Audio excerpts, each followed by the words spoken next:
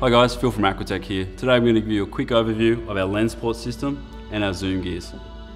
Because every lens is different, every lens port needs to be different also. We range from a small flat port to a super large telephoto zoom. You have dome ports, which are more suited to your wide angles or your fisheye lenses.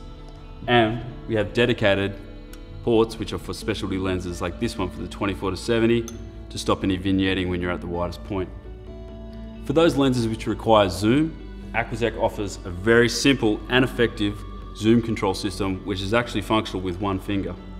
To install the zoom gear, it's very simple. Simply remove the lens from the camera, get the correct zoom gear. Today I'm using a 24 to 70 lens. The teeth on the zoom gear should face back in towards the camera. The zoom gear has 360 degrees, so there's no wrong position, just as long as the teeth are facing back. Once you've installed that, simply attach the lens to the camera and you're ready to put it in the housing. So once you've got your housing ready and your camera and lens with the zoom gear on it, very simple. Simply disengage the zoom gear by pulling it out, slide your camera into the housing,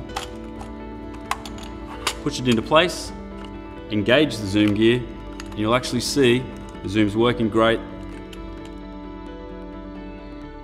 When you've finished shooting, simply remove the lens port.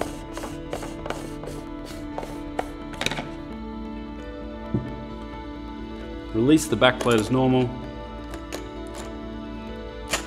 To remove the camera and lens, simply disengage the zoom gear, apply some pressure from the front, and your camera will simply slide out, and away you go.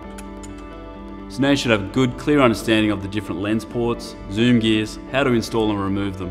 If you do need any further information, you can consult our website and look for the reference charts and look for your lens and the correct lens port.